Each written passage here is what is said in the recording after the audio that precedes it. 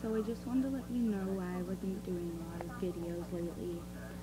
Um, it's mostly because of um, vacations. I was at the beach for a week. Um, I went to a place called Sandy Cove. It's really fun. And I broke my arm surfing at the beach. It's like fractured or something. So. And also, I wanted to let you know why I'm dressed in black. My best friend's mother died um, on Saturday, and um, so I just went to a funeral, and it was it was so sad.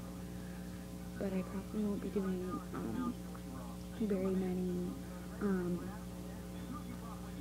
videos um, for probably a few days.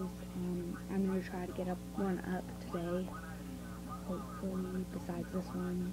Um, but if I don't, this is why I probably will not get one up today. Anyway, and if, if you like this video, thumbs up. Bye.